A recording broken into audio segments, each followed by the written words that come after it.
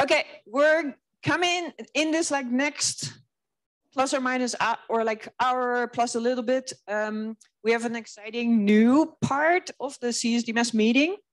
Um, and this is a combination of the um, spring school that we just taught in the week before um, the CSDMS meeting. Um, we had 22 participants here and focused on, we're focused on cyber training skills, um, basic GitHub, basic Python, um, learning about these tools that um, CSDMS puts together and the community puts together. And one of the things that people then um, do as part of this course is team projects where they try to apply um, what they just learned and like take advantage of tools that are already there. All of them are earth scientists. They come with different backgrounds um, and different topical interests. And you'll see that through today. But we'll have like each team up on stage and like show us how far they got in their team projects. The idea is that these are um, contained pro projects. So we try to like beforehand define or like as a team, they defined an idea of like, this would be something that students could use as an uh, uh, to introduce a concept or like a fairly like exploratory first step, but they are presented as notebooks or uh, teaching modules that later on people in the community can use. Um, we'll have five different groups. The first group consists of Alex, Marina, Bunti, and Jed.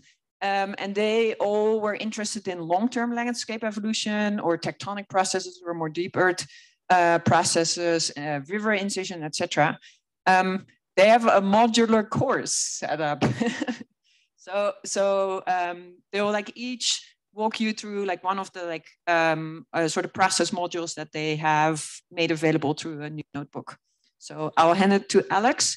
Um, there is enough time for people to ask questions. So like be aware, like we'll we'll have time for questions and for like interactions. Uh, hi everyone, I'm Alex uh, Lip. I'm a final year PhD student at Imperial College.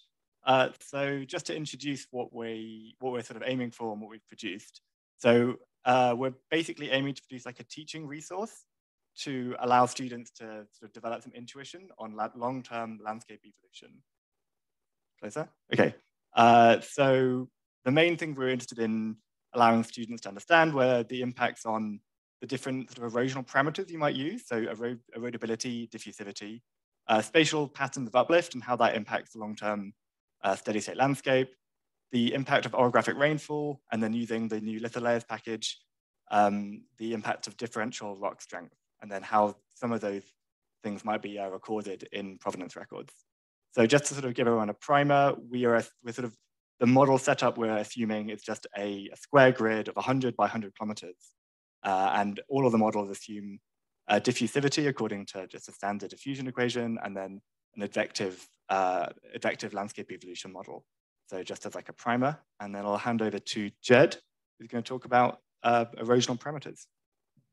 Yeah, so kind of as the first step, and this is also just as much for us to kind of get a grasp of the right range of uh, variable values to use in the model, uh, we ran the same model with all the same parameters except for changing uh, between a range of five different diffusivities and KSPs. So for rock erodibility, just start looking at how the kind of base LandLab model of, again, Fastscape eroder and linear diffusion results in different landscapes. So we can see here uh, those different combinations of erodibility and diffusivity and how that, and the main parameter then we extracted, we extracted a drainage density just for seeing uh, again, building kind of an intuitive sense of how these change the overall form of the landscape. So we can see moving from uh, very uh, high erodibility and low diffusivity, where we get much more dissected landscape, landscapes with high drainage density, and then moving into very high diffusivity uh, with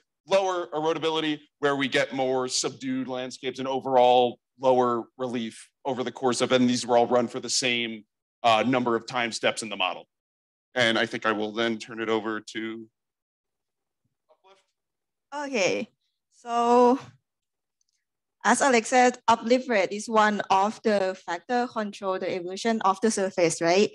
And different assumptions result in different circuits, uh, landscape evolutions. And in this model, I show some of the basic assumptions of uplift rate.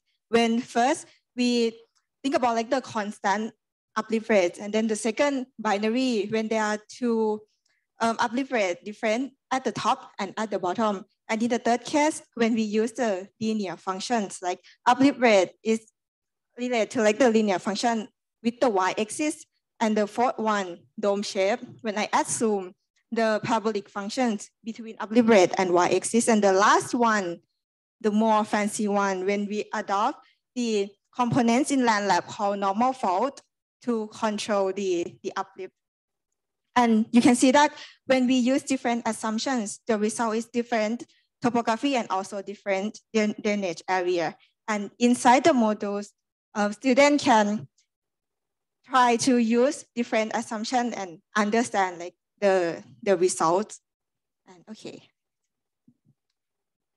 So um, the next component was the orographic precipitation component. So here uh, we wanted to kind of explore how to incorporate different precipitation patterns into the LandLab um, framework. So in order to do that, you need to add a water flux into the model that then will go into a discharge component taken by the uh, Fastscape eroder um, algorithm.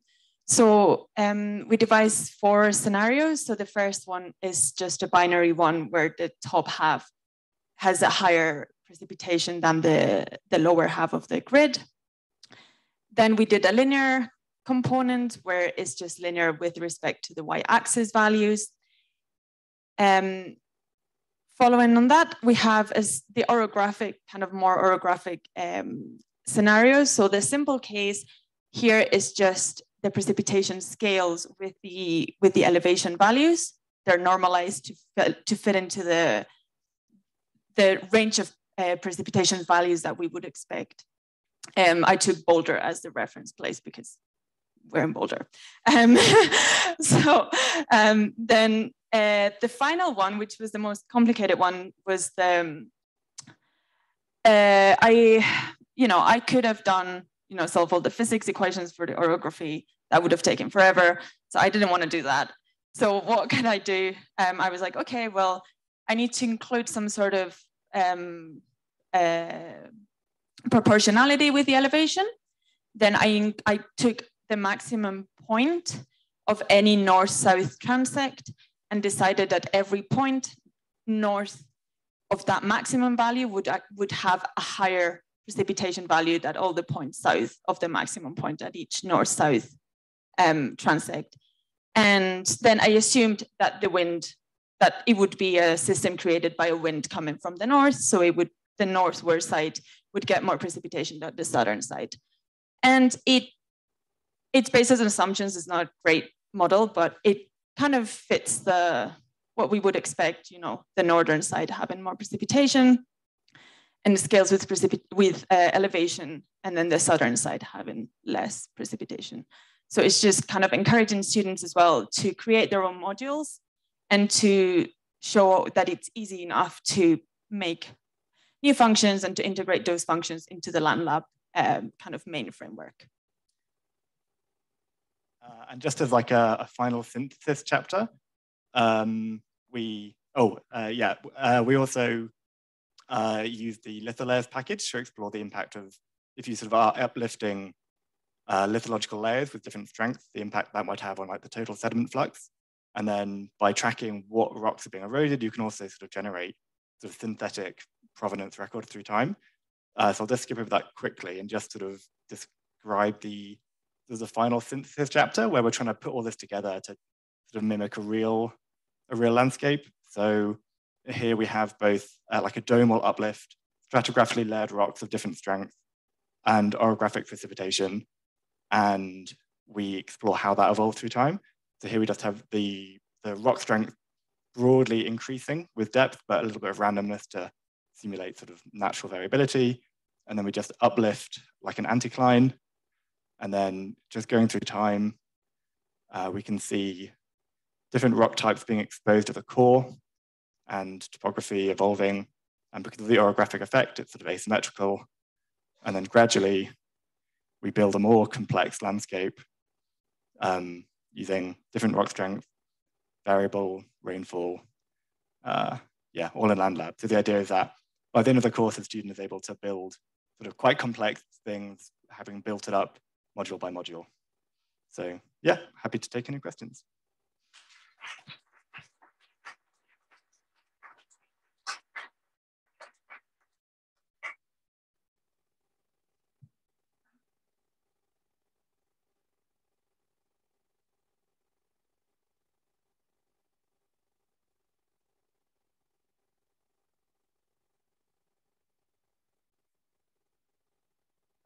Very, very nice work. Uh, so just out of curiosity, are we these these vertical things that we see stick out eh, in the south? Uh, are they then the next step? Are they diffused away, or what? Uh...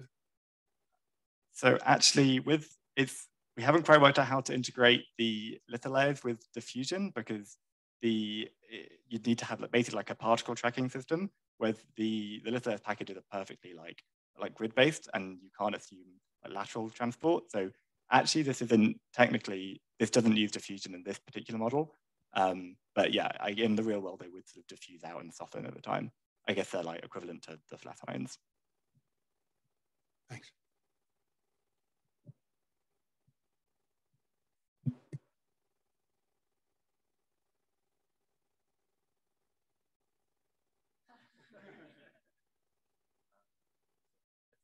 They're on GitHub, so the URL here, if you want to use them.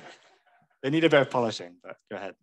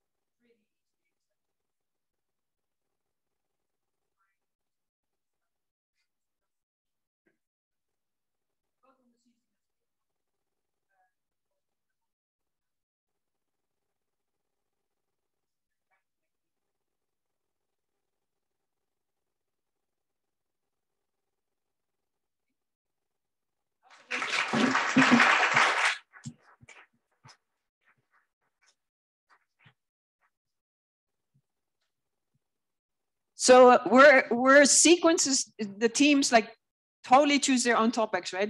We sequence them a little bit in a source to sink uh, order. That was very arbitrary, but like that's how I propose to do it.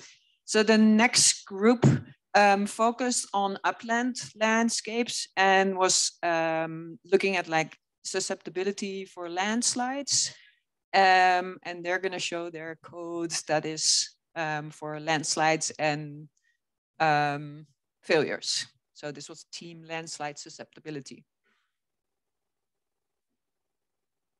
Anybody? Who is going to speak for them? Scott, you're the fires fires and landslides.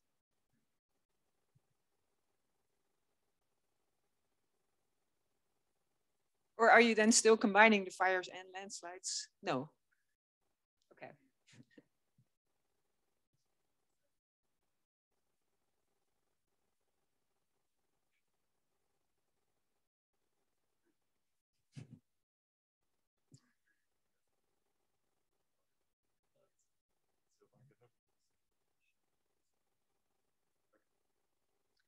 So this is Jill, um, Nick, Sebastien, and Emily um, is over there.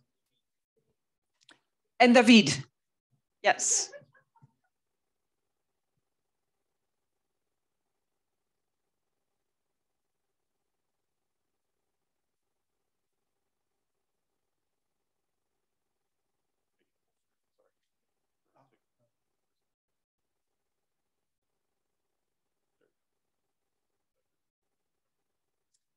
So hi, I'm Sebastian. Uh, we are very excited to present Oh, sorry. I'm Sebastian. We are very excited to present our very small project. Uh, well, um, we all know that climate change has a great impact on the occurrence and intensity of uh, extreme events. So, for instance, fires, and also extreme rainfall events and landslide.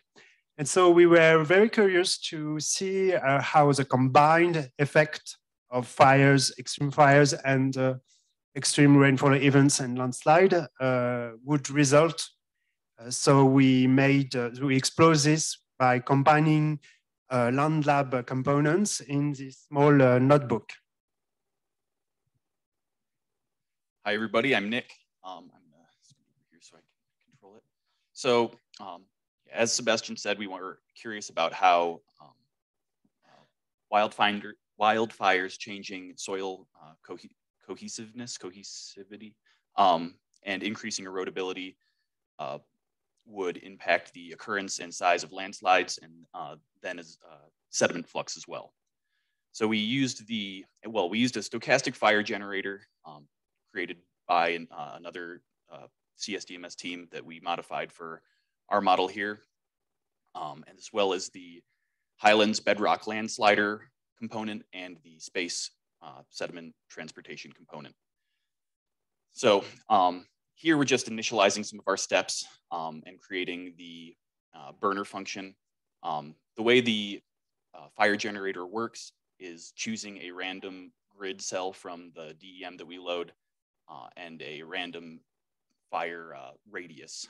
Um, and then any, any cell or uh, grid cell that falls within that radius has its uh, erodibility boosted by a set factor. And so yeah, here we initialize our components um, and use the uh, BMI topography component to load a 30 meter DEM of the Oregon Coast Range, which we chose because it's a well-studied area with a lot of parameters that we could find uh, and include in our model, uh, as opposed to just choosing something. So this is the DEM that we started with. Um, you can see there's a well-developed drainage area with some pretty steep slopes. Um, and here we set a bunch of the uh, parameters for our uh, model. So we're using a time step of one year and simulating 10 years of fires uh, with a high, uh, a high recurrence interval of the fires um, at about one year. our soil properties, um, we had an initial soil depth of half a meter uh, for the coastal range. Um, and then our boundary conditions allow for flow out of the sides of the models. Uh, that was a choice we made to simplify the modeling process. so here is our uh, fire function running. As you can see, um, seven fires occurred over the 10 year simulation. Uh, and it ran for about a, a, minute and a half, so fairly quickly on this DEM. Uh, and here is a plot of the fire locations and the erodibility change after each fire. So um, each fire is centered around or at one of the centers of the circles and then um, basically multiplies the erodibility of that cell um, or all of all the cells within the fire radius. Um, this is the sediment flux after the fires. Um, as you, uh, you can see, it mostly follows the uh, major drainage pattern up to the north, but there are a few going out to the sides here. Um, and then after this, we run the uh, bedrock landslider and space components to uh, sort of move some sediment around and see how that will affect our sediment flux. So in this image, we have uh, areas of deposition in green to blue and areas of uh, landslide occurrence in uh, the, the warmer colors. Um, and as you can see, we've had quite a few different events move some soil around. And then again, we plot our sediment flux and it, it looks very similar to our first plot, but some of the channels are a little more defined. And if we were to review the, the, uh, the scale bar here, you can see that there's a lot more sediment uh, being mobilized after the landslides have occurred. So um, that's what we modeled. Uh, this model did not take into account um, recovery of vegetation. Uh, did not take into account recovery of vegetation due to, uh, uh, you know, uh, that would increase uh, soil cohesivity or uh, sort of a proxy for erodibility over time. Um, and we didn't have the model recreate uh, more soil um, because one, it's over a 10 year period, which is not really a, a time scale for bedrock to become soil. Um, and I think that covered everything that we considered. Thank you.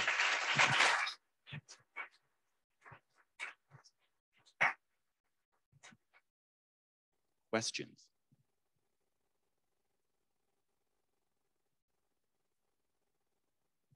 Um, for the for the fire function, you have a, a, perfect circle, kind of where the impact is, right? What you know is uh, can the fire function take into account wind direction or kind of topographic boundaries that it can't? Sometimes fires are stopped by ridges or anything. Can you tell a little bit more about that? So I'm sure that could be incorporated, but our model was very simplistic in the location of the fire.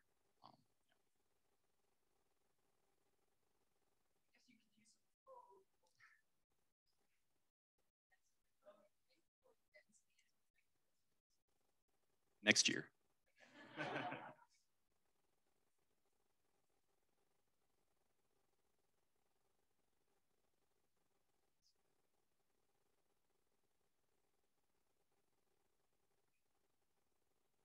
Just gonna stand next to you, Dano. Uh, just from my understanding, is it um, uh, so that the, the material that's deposited by the landslide that you give that a different erodibility and that's why you you increase the, the sediment flux yeah so the um, erodibility uh, is increased by the fire um, and basically modifies the parameters that the bedrock landslider uses to move sediment um, so we didn't change the erodibility of landslided material um, but increasing the erodibility increases the number of landslides. Okay, thanks.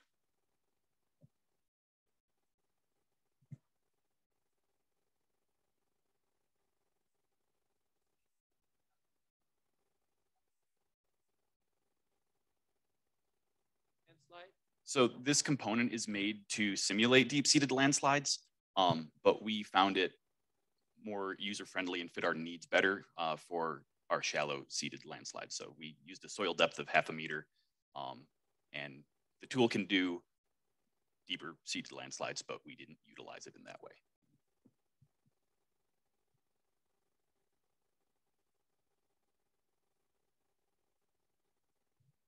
Just to follow up on Dano's question, is the mechanism that increases the flux farther downstream from the landslides, the fact that you put a lot of material in the upper parts of the, the creek profile and steepen it or? Yeah, so basically we've moved extra material into the stream channels, um, which we can see here. Um, the, yeah, the green depositional uh, areas are largely at the bottoms of the slopes, uh, which is increased soil thickness in the channels, which the space component moves to the uh, outlet. So it's uh, it's not transport limited, but but limited by how much stuff is there in the, the creek bed? I don't think we uh, took that into account. Thank you.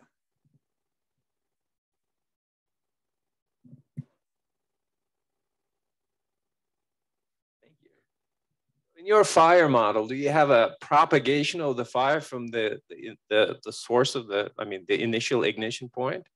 No, we just set a radius and have everything within the radius uh, increase in erodibility by a, a set factor.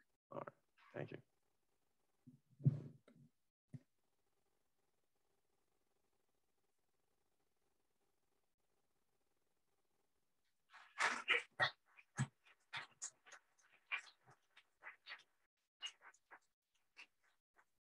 It's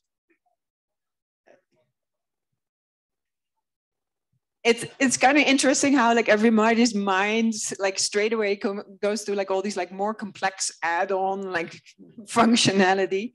Um and right like it was I, I think i literally when we set up the team project and told people um i told them like we in the course itself there's only like 10 hours or so that you're like literally doing team projects. But there was a weekend and people crammed through a weekend a little bit more, and I think. Um, so this group is also like more in upland environment and um, basically they started as like abrupt event was a really large group of people and um, riffed off of some of the same uh, processes but with a different application and so it's um, I will, I will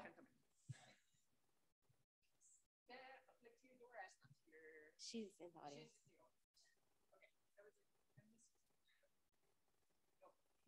Hello, um, my name is Archana. I'm a third year PhD student at Montclair State in New Jersey. And today our group is going to be talking about uh, using the uh, LandLab toolkit to simulate sediment flux after forest fires.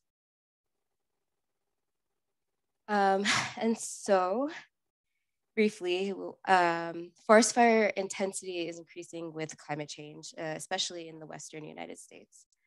Fire season is lengthened due to warmer springs, uh, longer drier season, and burn area, which then impacts the soil and vegetation, making it drier.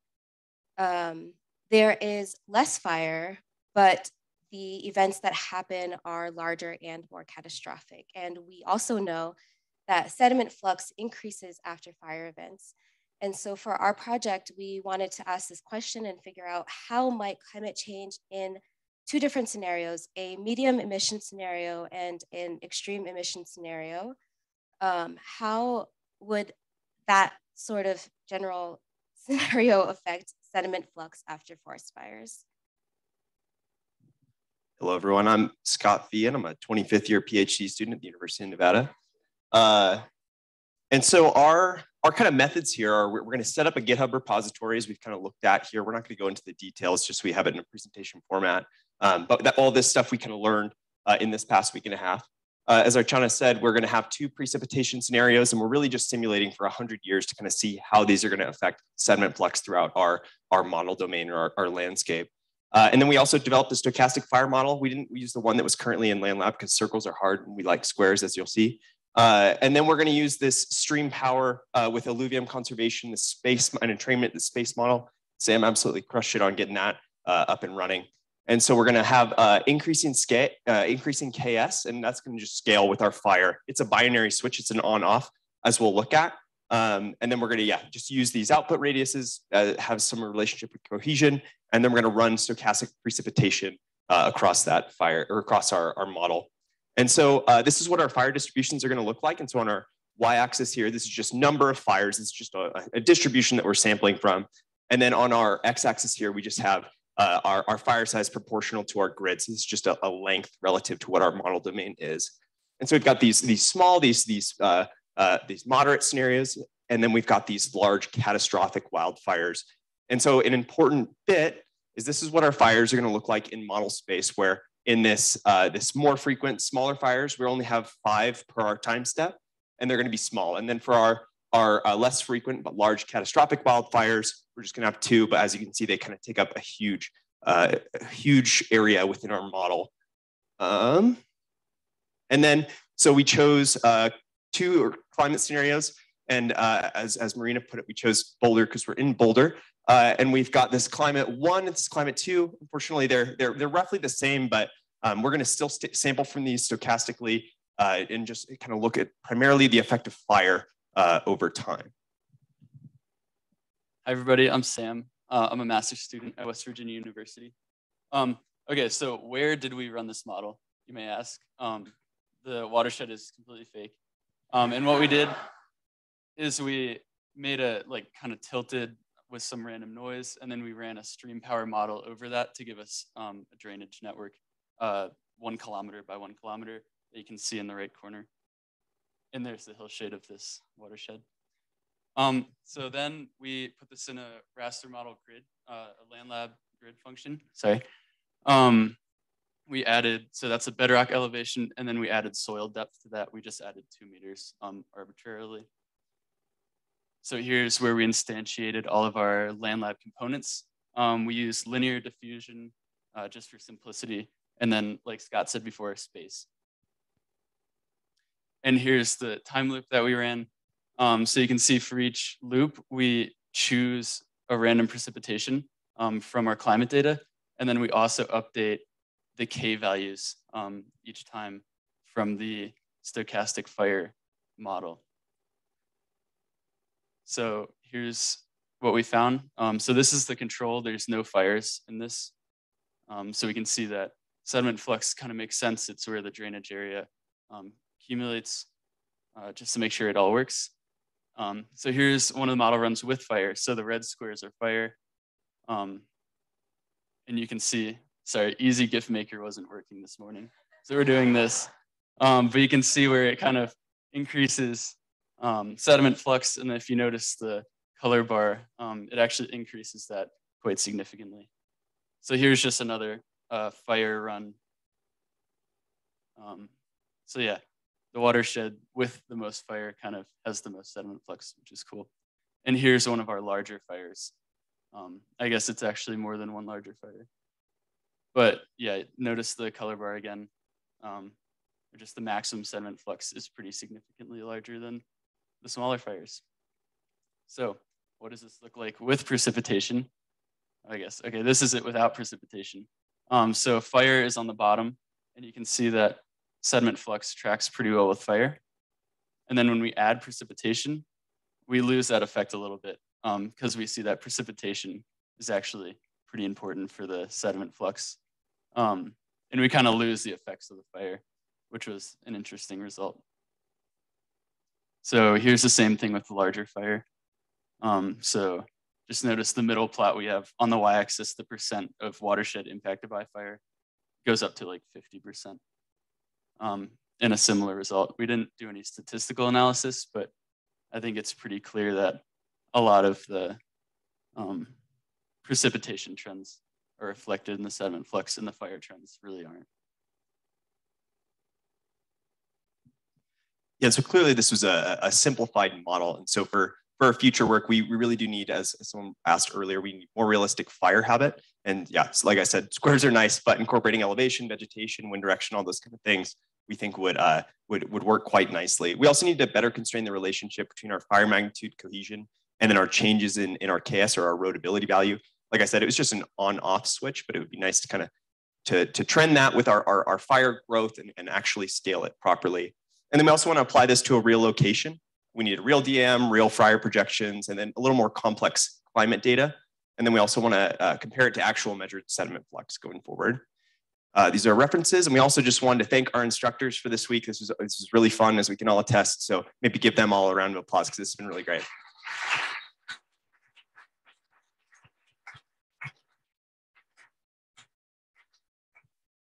Any questions?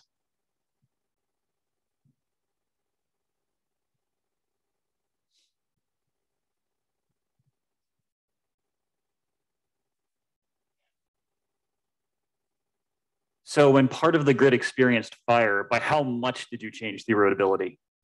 Order of magnitude, no idea. That's right. Gotcha.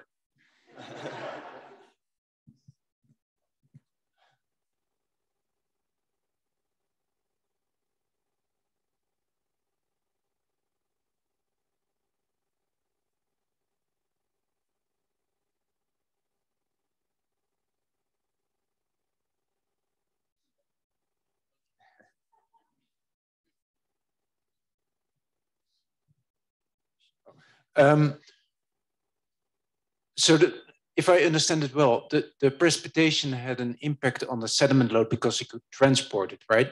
But does the precipitation also have an impact on the fire? Will it, you know, slow down the fire or, or you know, stop the fire or not? No. So how we how we did it was we just ran a couple uh, ran a fire scenario, got an initialized landscape, and then gave it a precipitation and saw it after the fact. But that's a great point.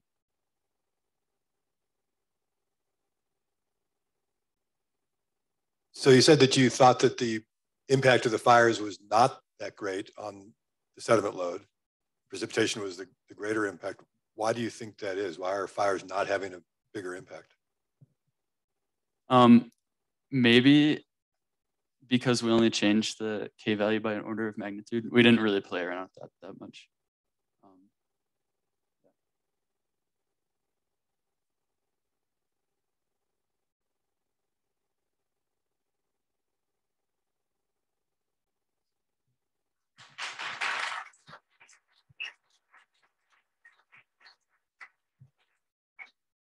If if only everyone had seen the like fire talks at the meeting before getting started on these projects, right?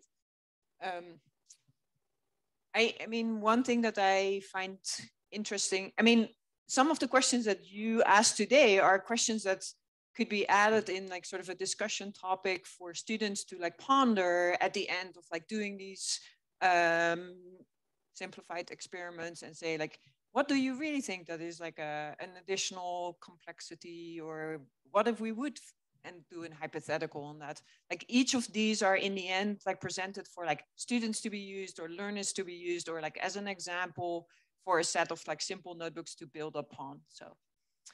Um, we have a whole bunch of people who are interested in coastal behavior and um, they took not out of the Landlab um, component set but they worked with a model that's called PyDeltaRCM. And the two developers or the two active developers that are um, working on that model are here too. So like they'll get like a surprise and like may have some feedback. um, or can be super proud because their model was accessible enough and easy enough and documented enough that other people could start like tinkering with it, right? So um, this is the group that worked on vegetation effects on uh, coastal systems. Elena, Isamar, Liz, Kelly, and Lexi are presenting. Um, hi, yes, my name is Liz, and uh, Lexi and I will be doing the presentation, and Ismar and Kelly will be fielding your questions. yeah. Um, so today our talk is titled Exploring the Interaction of Salt Marsh and Mangrove Vegetation on River Delta Evolution. So we know that vegetation influences delta morphology and evolution. so our research question is, does a delta that grows with mangrove vegetation evolve differently than a delta that grows with salt marsh, salt marsh vegetation? This is motivated because uh, vegetation ecotones are shifting due to climate change. So it's likely that coastal areas currently occupied by salt marshes may transition to mangroves. Uh, an example of this would be South Florida. So in this image, you can see that currently mangroves um, dominate Southern Florida, but we think that possibly they will start shifting north where salt, salt marshes are in the north. To address this question, we use the Delta RCM vegetation model. Um, so the vegetation model was built firstly on the Delta RCM model. So the Delta RCM model is a delta river delta formation and evolution model with channel dynamics. The vegetation uh, component was expanded to include vegetation effects. So in this model that was published in 2018, vegetation colonizes, grows, and dies. Um, it increases bank stability and improves resistance to flow. And the original parameters for vegetation, such as stem diameter, carrying capacity, logistic growth rate, and rooting depth, represent marsh gra grass type plants. So what changes did we make to this model? Uh, we made some changes to the source code. Um, so the parameters are now defined by a YAML file. We converted um, xrange to range because the original model was um, written in Python 2 and we wanted it to run in Python 3. And we use mangrove parameters for comparison to salt marshes. So in this table, you can see that we changed some of the parameters from salt marsh like stem diameter from 0.006 meters to 0.14. And the carrying capacity is um, much different between salt marshes and mangroves, as well as the rooting depth. I'm gonna pass it over to Lexi. Yep, so I will be talking about our Jupyter notebook and how we kind of set it up. So at the very beginning, uh, we didn't have PyYAML installed, so we had to install it. And then our next statement just imports a YAML, which we use to import the YAML file and imageio, which we use to create the GIF. Sam, maybe that would have been really helpful for you. um, and we import the Delta RCM class from the Python file. And then the next line of code, we actually import the YAML file and what that looks like, at least our YAML file um, has all these parameters in it, uh, which these were originally defined within the Python file itself. So we just made that easier for users to change their own values. And uh, we decreased things like the water particles and sediment particles just to make it run faster. Um, and our total time step is 5,000, which represents about 150 years. And so then our second to last block is just uh, setting up the model. So instantiating the model with our parameters and changing our values for either salt marsh or mangrove, like what Liz was saying from our table, and then running the model, uh, which takes a very long time. And then our last block of code just creates the GIF files, uh, GIF. and so here's one example of uh, like just one of our simulations, which was a mangrove simulation. And the top left graph shows the elevation. So the white is zero elevation, and then the darker it is, the more negative it is. Our top right graph shows the vegetation, which is from zero to one based on a density, a vegetation density. The bottom left is discharge, and the bottom right is water surface elevation. And so we, we decided to save time steps at approximately 25 year intervals so that's what you're seeing here is the evolution of 25 year intervals over 150 years for a mangrove um, run. And so kind of to transition, this is what the four different scenarios we use kind of based on the original paper parameters. And this is specifically for salt marshes. So the way this works is that from top to bottom, we have a decreasing flood frequency. So what that means is the 75 is 75 time steps in between a flood. So 100 time steps between a flood is less frequent than 75 time steps between the flood. And then on the x-axis, we have the sand percentage. So 25 is 25% sand, 75% mud. And the right is 75% mud, 25% sand. And really just what we want to notice is that the flood frequency didn't really seem to impact the vegetation or uh, growth that much. They're pretty similar. And then the like in the marshes, we have a lot of small channels forming off the main channel. Whereas when we go to our mangroves, you can see there's a lot less kind of like white space in the vegetation. So we saw that there were a lot less channels forming. But these are again the uh, the same 25%, 75% sand and flood frequency.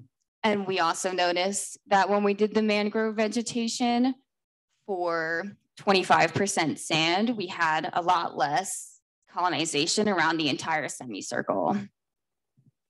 And then we're gonna do further analysis using the top left scenario. So that is the 25% sand and 100 day flood, which Liz will talk about next. so yeah, we compare those top two left plots, which um, were the base conditions in the original model. Uh, okay, sorry. Yeah, so I hope you got that. Um, So if we compare the results between the salt marsh and the mangrove deltas, um, between the vegetation and the mean free surface elevation, we can see that there are differences. So in the first plot on the left, we have time in years on the x-axis and vegetation cover uh, in pixels on the y.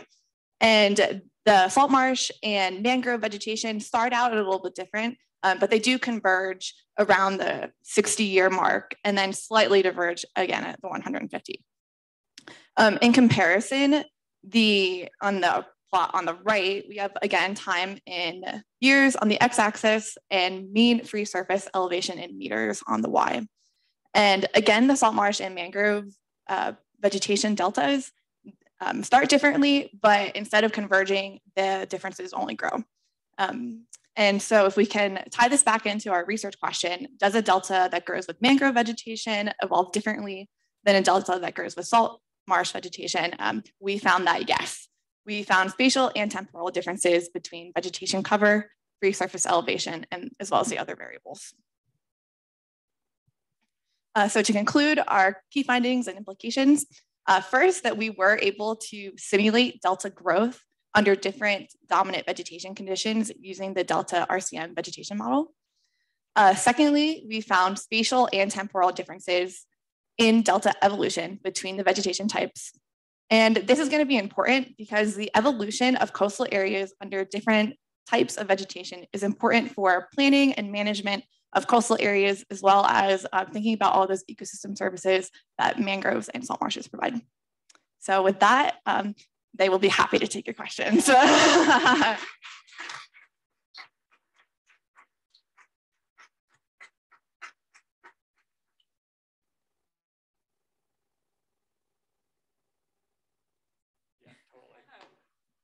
Um, great job. Uh, my question is thinking about your plot that showed the differences in elevation between um, salt marshes and the mangrove simulations. Has that been observed like in the real world, do we know? Hi. Um, that's a really good question. So it really, how do I explain this? So I guess I'll also answer it a little bit with the lateral accretion because mangroves do accrete laterally. And so you do see those increases. They're known as land builders, right? So they both go in X and the Y direction. is the way that I like to explain it to people. So you do see those differences. I'm not so sure off the top of my head in terms of salt marshes, um, but I do know based on you're comparing trees and the tree root systems. I wish we had a picture of a red mangrove because I can explain it a lot better. But you can you can think of red mangrove root systems as kind of like spider claws is what I tell people and or spider legs. And so they're able to trap sediment, but also the organics come into play and they're able to when their leaves fall and kind of degrade within their mud systems, they're able to trap those leaves and it doesn't really leave the system. So they kind of do accrete up as well. So you do see that sort of, but I'm not too sure. Yeah, I can expand on that um, as well. So this free surface elevation, the differences there are really related to the vegetation properties itself. So like if you think of a salt marsh, that it's like really high density and there's like lots of plants everywhere, whereas the mangroves are trees. So they're like a little bit more spread out. So what that graph is showing is not like, um, it's, it's really related to like how the water is like interacting with the vegetation itself. So more of like a hydrodynamic impact. But this model has, yeah, like uh, Ismar was saying, has no vertical accretion for either the salt marsh or the mangrove, which would be really important to include in a model of delta growth because uh, typically in like a salt marsh, that organic sediment that Ismar was explaining makes up like between like 30 to 80% of the material that's actually on the platform, um, depending on the mineral sediment load to those areas. So uh, yeah, it's a bit more complex than the, this graph shows, I would say.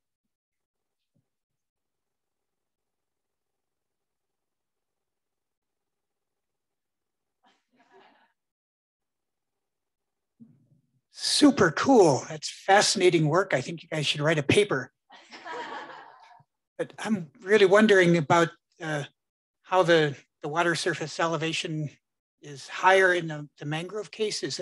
You were alluding to the hydrodynamic properties, but I would have guessed since they're so much more rarefied that they'd be less uh, resistance to the flow. And so maybe the, the flow would be less effectively channelized when it looks like it's more. I'm wondering if the, the deeper roots and the fact that it makes it harder to kill those, and so they're more on a longer time scale, more morphodynamically confining the flow more than hydrodynamically. What do you guys think? Yeah, I would I would agree with you. Um, do you have a, I, yeah, I have. Um, I can talk about this all day. So so in the Caribbean specifically, just off the top of my head, we have four different species of mangroves, right? Um, but the main two that a lot of people focus are on are red and black mangroves that have completely different types of root systems, right? And so that's not really simulated in the PyDeltaRCM veg model. But depending on the root system that you have, the colonization in terms of which type of mangrove you have, you're going to get different types of channelization and also the hydrodynamics of the system. So depending on how much salinity, for example, or soil stressors you have, there's going to be different kinds of mangroves in different parts of the deltaic region, right? And so those root systems really do affect the channelizations. For example, as I explained with the spider leg analogy, black mangroves have prop roots, which I explain as like forks, sort of. And so they trap sediment, sand sediment um, completely differently than red mangroves would. So the channelization is different depending on the species as well.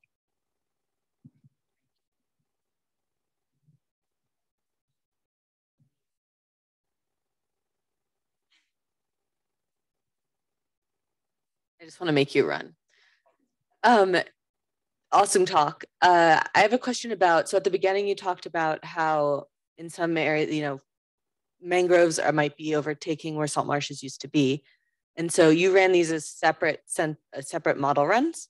And so I was wondering if you had any comments about how, you know, if you use a mix of properties, how the delta changes, or if you start with like, you run the mangrove simulations, but start with the marsh, salt marsh um, elevation and bathymetry, how, if you've thought about that at all. Yeah, that was uh, actually like our initial uh, goal was to have the mangroves like encroach on the salt marsh in the model itself.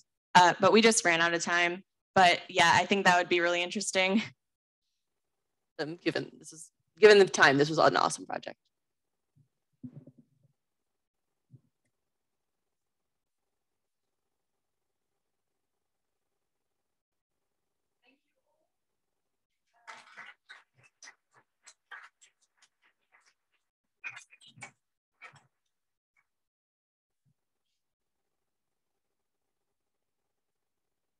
Our last team um, also focused on uh, deltaic processes. Um, and it shows you one of the um, merging conflicts in our community where um, they use a different version of PyDeltaRCM, the more updated version um, that did not have yet vegetation characteristics. So like, you got to do something. Um, this team, included Tien. um, Jana, Lawrence, Katie, and Juliana are going to talk about Delta RCM and Delta processes. So we're just going to introduce ourselves real quick. My name is Caitlin or Katie Turner, and I'm at Louisiana State University, and I'm a PhD student. I'm Julianne Davis. I'm at UNC Chapel Hill and also a PhD student. Hi, I'm Lawrence Willis. I'm a PhD student at UC Irvine and also a PhD student. Hi, everyone. I'm Jenna Abdelatif. I'm a master's student at UT Austin. And uh, Tien Dong, who's a uh, postdoc at UT Austin, who had to leave early and not here with us today, contributed quite a bit to uh, this project. And then we would also like to thank Ethan, Josie, and Mark for all of their help for getting helping us and Arena for helping us get this model to run. So one of the main things we really wanted to do was connect real life situations that are happening to our Jupyter notebook. So we used Wax Lake Delta as kind of a case study using the PyDeltaRCM model. So one of the things that coastal Louisiana is really experiencing right now is land loss. And that is due to a range of factors such as subsidence, sea level rise, and as well as this lack of sediment that is happening partially can be due to the upstream damming that's been occurring in the Mississippi watershed. And so we actually experience in the Wax Lake Delta, Mississippi area, 50% less sediment rates than their his early historic values. So this is definitely due to dam trapping, trapping, trapping sediment. And the other part that's going on is when we have the Atchafalaya River having this kind of pipeline of levees, we're not getting sediment going into the surrounding areas, which is why if you've ever looked at the Louisiana Coastal Master Plan, there are a lot of diversions coming in. And so this was kind of our, our inspiration for this project. And so you can actually see with Wax Lake Delta, it was created, it was a man-made flood diversion. And so you can see the growth of this delta over time. And so we wanted to see how, if we change sediment, how is this going to impact delta, delta growth? And so the first part of this was to characterize stream flow. So we wanted learners to understand what, what is happening upstream. So our first part is looking at um, using a Python package uh, called data retrieval, which takes USGS streamflow data and showing them different ways to calculate the flow frequency curve, as well as the exceedance probability and the intermittency factor, because the intermittency factor really tells us how long we're going to have um, floodwaters that will contribute to growth. So it walks learners through what all of these processes are and what they mean, as well as how to plot them. And so we can see a few of the plots that they'll be able to replicate themselves. And yeah. Cool. Yeah, so then there's some educational educational questions and comments here, like can you comment like what the intermittency factor might mean, might mean, et cetera. Um, and then we wanted the students to use uh, a morphodynamic model to basically simulate delta growth. Um, and in this context, uh, PyDeltaRCM, which is a reduced complexity model for delta growth, was a pretty ideal candidate because it can run within the Jupyter notebook and basically build a delta in a couple of hours. Um, so actually the developers are here um, and it's available through Landlab. So we basically set it up in this notebook and then um, designed a couple of experiments um, that the students would be able to play with basically different sediment characteristics corresponding to different real world damming scenarios. And Julian's gonna walk through that. Broadly, we wanted to simulate different effects that dams can have. Um, dams can take a range of forms, but here we're kind of just reducing the complexity of the problem to think about an earthen dam, like you see on the right, that doesn't allow any water or sediment through and then a dam that has a sluice gate allowing some water, suspended sediment, and bed load to continue moving downstream, like you see in the image on the left. The table below shows the scenarios that we have run. As Katie said, it's inspired by the Wax Lake Delta, but we're not claiming to be reproducing that system. so we are looking at two different sediment concentrations, which you see in the rows. Um, originally a sediment supply of 0.3 and then 0.15. And then in the columns, we're changing the amount of sand versus mud. So changing the sand fraction to see what would happen if bed load is reduced. And as you move to the right in this table, the delta is totally made out of finer grained sediments and mud with no sand present. We call those baseline and then A through E. We'll be using that notation again. So just as a logistical thing. These models do take a bit of time to run, as the other vegetation group said, which is why we have do not run this step in our educational module. We recommend this as a lab with a homework component where these students run the models overnight um, and do the hydrograph things on day one, day two, look at their output, but if you don't have that much time, we have also uploaded the results of our modeling that students can look at. So we then ask them to follow through some of these steps, import the data, and begin doing some different visualizations. This figure shows our outputs, and the format is the same. So the top left is our baseline. The top row has a, the initial sediment concentration. Bottom row sediment has been cut in half. And as you move left to right, the amount of sand decreases until you only have mud all the way on the right. This shows delta elevation and values in light green to yellow are elevations above the water surface. We ask the students to make different observations about what they see in these deltas. One that we have encouraged them to look at is the um, frequency of different elevations that they observe, like which deltas are more effective at building upwards versus outwards. And that's what these histograms are showing. We then ask them to look at bifurcations and the number of channels. So again, here we are showing those six simulations and the colors here are flow velocity, higher velocities in yellows. And we ask the learners to compare these different deltas, think about how the changes in sediment could result in the changes in delta morphology that they see, and then make comparisons over time. These show the deltas at the end of the model runs. And then here, we look quite a few time steps earlier at smaller deltas and ask the students to kind of think about how these deltas grow and change through time and how that varies with sediment characteristics. We also invite the learners to make some predictions about other parameters they could change in this model. How could they simulate subsidence or sea level rise? Um, and so we link them to the documentation and encourage exploration of other ways that they could change the deltas that they can make in PyDeltaRCM. And I'll pass it back to Katie to wrap it up.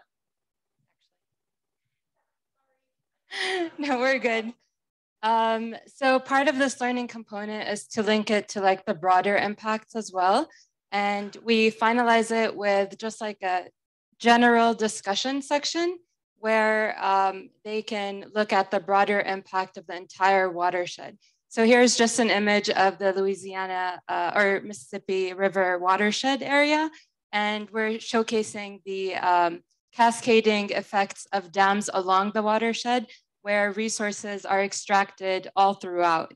Um, and then we also uh, provide a link to the uh, uh, master plan for the Louisiana coast where they can um, look at restoration projects that are currently active and the different scenarios that they can use such models to kind of forecast for. Uh, the master plan also includes like uh, re reduction in budgets and mitigation efforts as well. So we want to like invoke them to see other uh, broader impacts that uh, link science to society as well. And that's pretty much our, our model.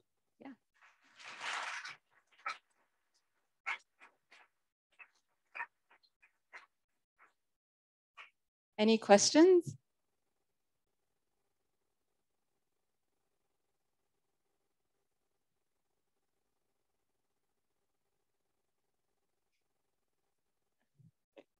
Hi, thanks so much for your work in building this really cool educational module. And of course, you know, being up in Minnesota, I appreciate doing it on the Mississippi. And I was just wondering if you guys have any insights into um, how much the locks and dams in the upper Mississippi actually affect the sediment supply to the lower river, considering the sharp dropping gradient to the lower Mississippi and the large amount of sediment buffered in the valley itself.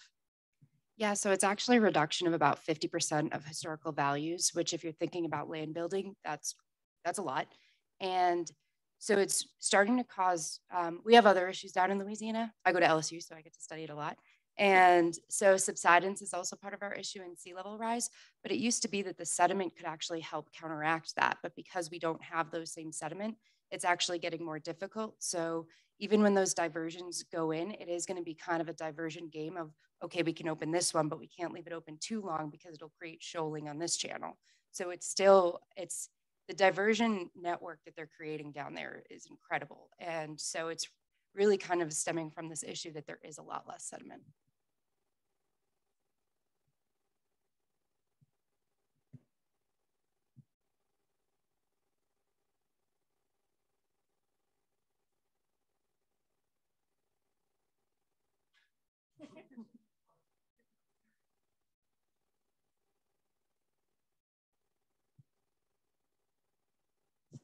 If you had another day or two, where would this go? Um, so I personally think it would be cool to see how the stratigraphy changes. So if there's a way to like incorporate uh, more uh, grain size variations, see how the stratigraphy would look like in a vertical sense while the delta is building up. So sometimes we see the delta as prograding versus aggrading, and uh, I think it would be cool to explore that uh, aspect. As other groups have said, we also had you know, an original idea and then what was feasible in the time given. So something we talked about originally would be running a delta for a certain amount of time and then starting to modify the characteristics instead of starting with an empty basin. but we think that would require modifying the source code. And that was a bit beyond what we felt we could get done and present. So I think that's another direction we'd like to take this. I have a question.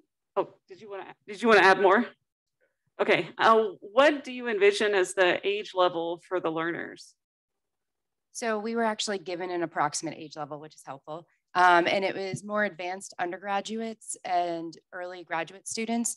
So when I was thinking about this, it really seems like a hydrology class or a geomorphology class because it, really links those two together. And a lot of the times, if you take a class in, say, civil engineering and then one in geomorphology, you can kind of miss those links. So it was really for us to link it together.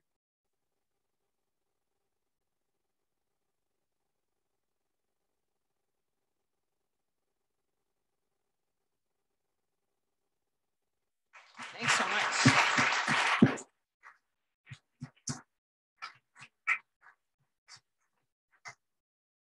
I just want to thank everybody for such hard work that was done to like get to these projects. Um, these participants.